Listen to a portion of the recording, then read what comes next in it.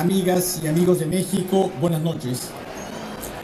Es un gran honor estar este día tan especial en Valdepeñas. Quiero agradecer al Ayuntamiento, a sus autoridades y al Consejo Regulador de Denominación de Origen de Valdepeñas por esta generosa invitación. En mi país sabemos del esfuerzo, de la vocación y del tesón que requiere la industria vitivinícola. Como ustedes saben, en México, con la llegada de los españoles a esas extraordinarias tierras, también llegó la vida. Fueron los frailes católicos quienes establecieron en Parras, Coahuila, el primer viñedo y las primeras bodegas de América en el año de 1597. Esos mismos misioneros llevaron también la vid hacia el norte de México, en Baja California, y extendiendo esa vocación vitivinícola hacia California, en lo que hoy es el sur de los Estados Unidos.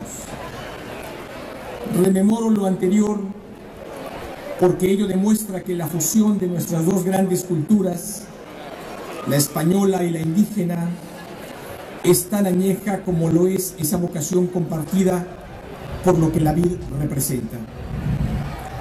Así es la historia común entre nuestros grandes países.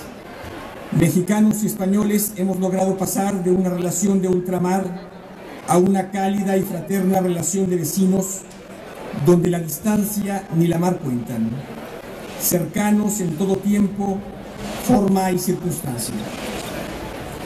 Hoy mexicanos y españoles compartimos vínculos culturales de lengua, de consanguinidad, de tradiciones, de creencias y valores que permiten asegurar que no existe para México relación más entrañable en Europa que la que tiene con España y que España en lo general y Valdepeñas en lo particular tienen en México a un gran aliado y a un amigo confiable y sincero.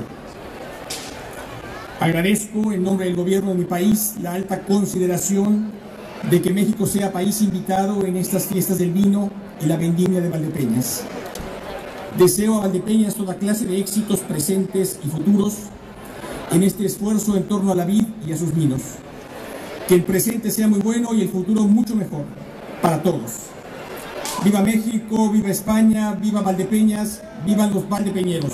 Muchas gracias.